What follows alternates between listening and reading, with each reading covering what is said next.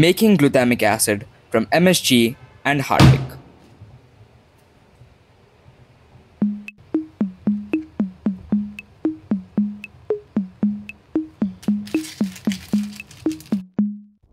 For this procedure, I'll use 25 grams of MSG or 0.15 moles.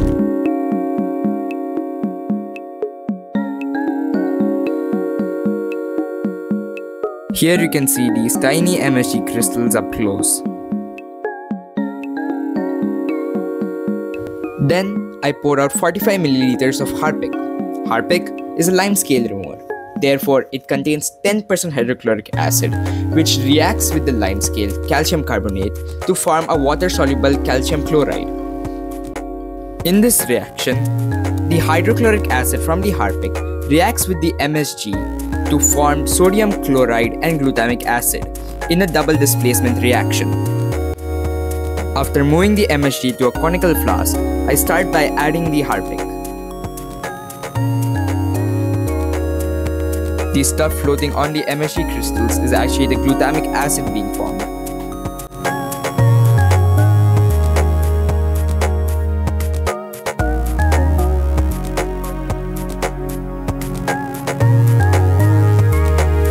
Here you can see the glutamic acid more clearly after the mixture has been stirred.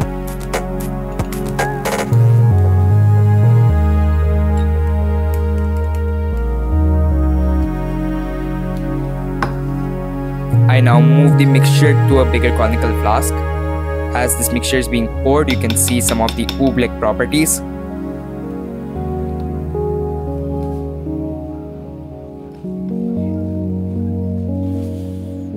After the mixture has been settled for some time, I filter it to remove any of the dyes, impurities and water from the mixture.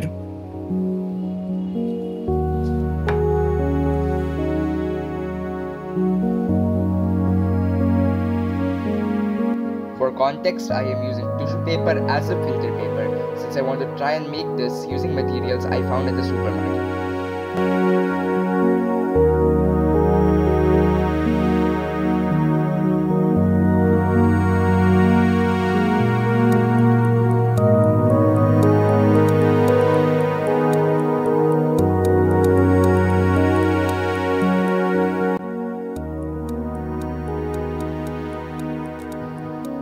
Here you can see the residue which is the glutamic acid on this tissue paper.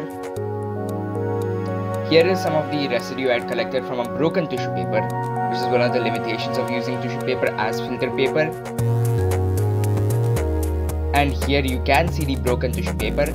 I have managed to recover most of the glutamic acid.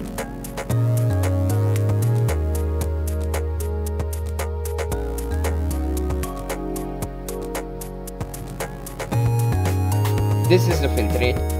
It contains mostly salt and the dyes from the harpic, which I'll be discarding. This is all the glutamic acid that I have obtained. Now we move on to recrystallization. This is required to remove any of the impurities such as the dyes that still remain in the glutamic acid. So first we add them to two containers, a beaker and a conical flask, and then I add hot water in which glutamic acid is soluble.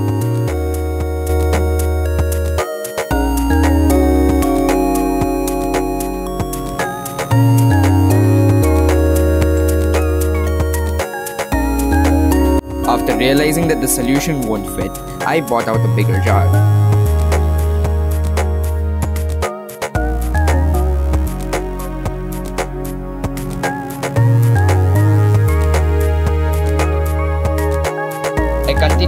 Hot water until all the glutamic acid dissolves.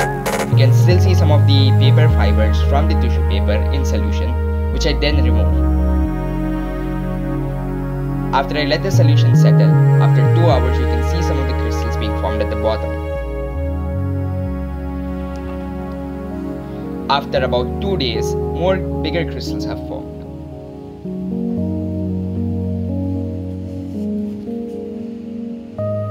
On the top, you can see some of the crystals floating on the solution.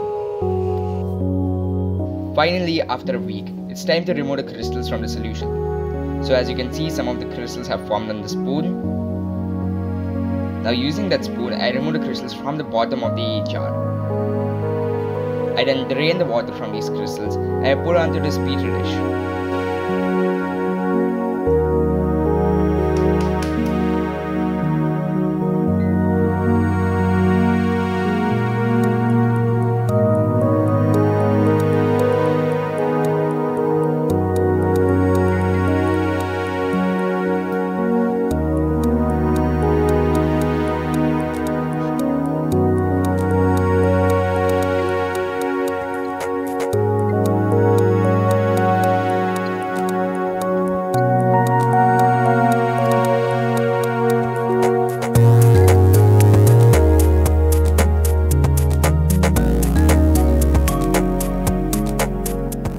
Here you can see the crystals up close.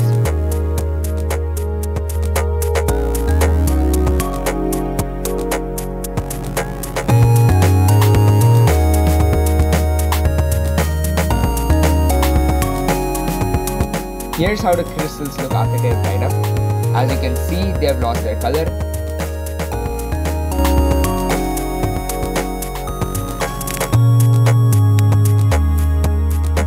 The final yield seems to be 6.79 grams of glutamic acid.